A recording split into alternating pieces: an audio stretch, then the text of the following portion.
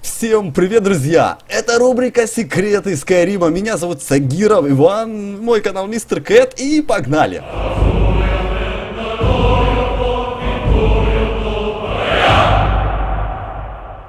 Ребят, сегодня, сегодня мы заберемся на высокий Хродгар. Да, начнем здесь и, в принципе, все все мы начинали здесь идти э, по этим ступеням, поднимались наверх. Это самое начальное, не знаю, все так, все, все, все, все, как только начинали играть в Skyrim, всегда поднимались по этим ступеням. Да, это было с самого начала. Но, друзья, мы не все читали вот эти таблички. Про этот секрет мне рассказал Ефим Никитин. И и он очень крутой, он был у меня в прохождении, друзья. И не все смотрели мое прохождение. Я могу поспорить, что даже, наверное, 80% игроков не знают про этот секрет. А мы сегодня его получим. Первая табличка, надпись номер один. Прежде рождение людей Мундус было во власти драконов.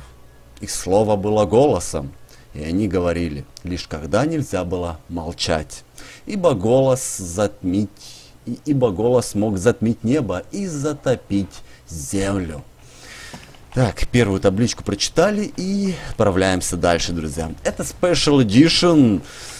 Special Edition я все-таки выставлю крик э, на всякий случай, потому что тут бывают попадаются мишки. Вот такой вот мишка. Уйди сюда, малыш.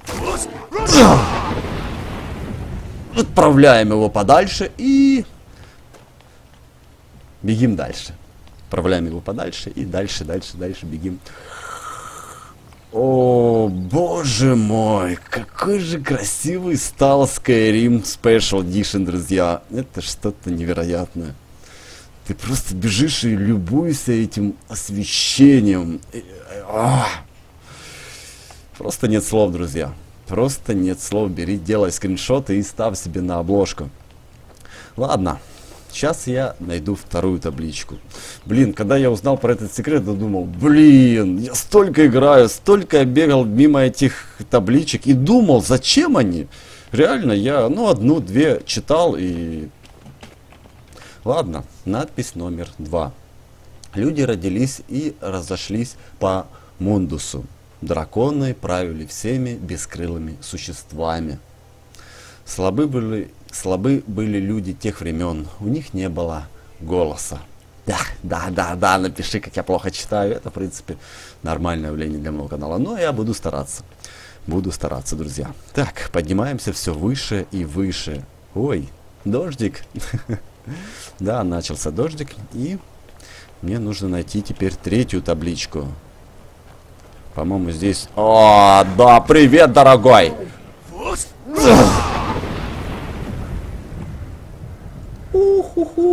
Да, парень погнал. да, улетел далеко. Ну ничего, мы по нем скучать не будем. А поднимаемся все выше, выше. Блин, тут как-то скользко. Ой, смотри, тут еще один дружок. Хм. Ну что ж, давайте попробуем подождать, пока откатится мой крик. Опа, он сагрился. Да ладно, погоди, погоди, совсем немножко осталось. Давай, давай, потопчись, потопчись, дорогой. Мне уже совсем чуть-чуть. Сейчас это отправлю в Саундгард. Ну, ладно, не будем ждать. Понятно, я его туда не отправлю. Если ты хочешь написать комментарий. Господи, они всех козликов, как и я, поперебили. Так, и следующая табличка под номером 3. Тут кое-что можно взять. Надпись номер три. Юные души людей были сильны в старые времена. Они не страшились войны с драконами и их голосами, но драконы криком разорвали их сердца. Да, если бы я такой видел дракона, то это было бы стрёмно. Стрёмно, стрёмно, стрёмно. Интересно, откуда вообще взялась вот эта вот легенда про дракона? Может, действительно когда-то? Когда-то, хотя нет, нет, это миф, это все выдумали. Хотя помню какие-то документальные фильмы, что типа что-то когда-то отрыли, что-то похожее. Ну, скорее всего, эти мифы начались, когда люди начали отрывать непонятные скелеты. А, но наука тогда была еще на ранней стадии, и древние ученые начали, да это же драконы, но они еще не знали, что это были динозавры. Не, ну посудите. Скорее всего, так все и было. Вот. Еще одна табличка. Читаем ее.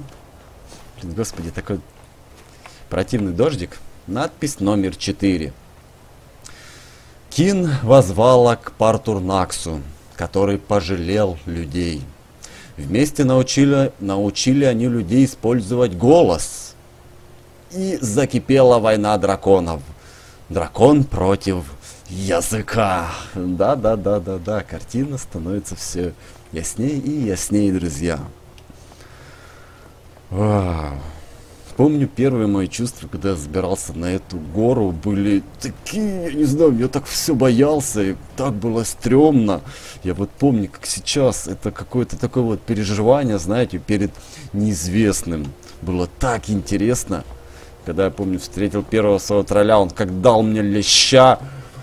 Ого, я его боялся. Так, друг, что ты?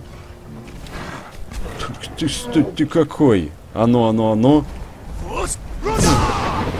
Пускай он встает, а мы пока прочитаем пятую надпись. Люди победили. Криком изгнали Алдуина из этого мира. Всем доказали, что их голос не слабее. Но жертва их была велика. Да, видимо, много. Много положил Алдуин. И мне еще придется с ним подраться, друзья. Да, я никак не пройду главную линейку, но после прохождения гильдии воров я все-таки с ним сражусь на легендарной сложности. Это будет эпик. Ага, вот следующая табличка. Шестая. Хм. Да, надпись номер 6. Кричащие языки несли детям неба победу. Основали первую империю мечом и голосом, покуда драконы ушли из этого мира. Ладно. Ладно, ладно, ладно. Друзья, всего, всего этих табличек 10. И сейчас будет седьмая. Табличка номер 7. От Красной горы языки ушли посрамленными. Хм. Юрген, призыватель ветра, начал свою семилетнюю медитацию, чтобы понять, как могучие голоса могли проиграть. Да как проиграли, так проиграли. Что это он это выяснял? Непонятно. Ладно. Ой, ребят, уже стемнело. Пока я добежал, уже стемнело. Табличка номер 8. Надпись 8. Юрген, призыватель ветра, избрал молчание и вернулся. 17 спорщиков не могли его перекричать. Юрген, спокойный, выстроил дом свой у глотки мира. Ха. О, так значит, у него там дом? Я, честно говоря, это не знал. Хм. Нужно больше читать лор, особенно мне. Больше, больше, больше. Вот почему у меня есть рубрика книги Скайрима. Да, сейчас я редко ее выпускаю, но, друзья, она реально мне очень помогает. Очень, очень, очень. Так, и осталось две, две таблички, да? Я ж ничего не пропустил. Вот, наш Талос, дорогой. Девятая табличка. Надпись 9. Годами молчания... А, годами молчали седобородые. Произнесли лишь одно имя. Тайбера Септима. Еще юношу призвали они в Хродгар. Благословили его и нарекли Давакином. Вот, вот первый, друзья. Первый Давакин. А может будет история самого первого Давакина в древних свитках? Не, вряд ли. Вряд ли будет еще заезжена эта тема, тема драконов в свитках шестых. В шестых свитках будет совершенно что-то новое, интересное, гениальное. И надпись 10, друзья. Голос есть служение. Следуй внутреннему пути. Говори. Лишь когда молчать нельзя, друзья. Мы читаем десятую табличку и нам добавлен глаз небесный, друзья. Перка, уникальная перка, и нигде не написано, я не знаю, может быть кто-то где-то и написал эту табличку, может быть она где-то сказана в какой-то книге, но так просто вы об этом не можете узнать, вы обязательно должны, обязательно прочитать все таблички, не, ну тот, кто любопытный и читал все таблички, получил этот голос, потому что непонятно, что дает эта перка. Глаз небесный. Животные не нападают на вас и не будут вас атаковать.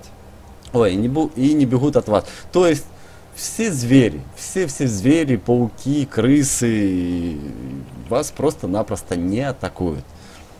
Ну, 23 часа. В принципе, этого достаточно. Если просто бегаете, быстро не перемещаетесь, это обалденно. Это круто, это такой секрет. Я уверен, что многие из вас не знали. Да, многие знали, кто смотрел мое прохождение, а может еще до, до даже до моего прохождения. Но это 100%, процентов 80 не знала. Так что, если вам понравилось, друзья, ставьте лайк, подписывайтесь на мой канал, и вы узнаете еще другие секреты в рубрике. Я, кстати, сейчас выставлю секреты Скайрима. У меня есть два видео. Все, друзья, это был канал Мистер Кэт. Подписывайтесь на мой канал, заходите в мою группу ВК, подписывайтесь, друзья. Если вам понравилось, порекомендуйте это видео друзьям. Все. Всем пока.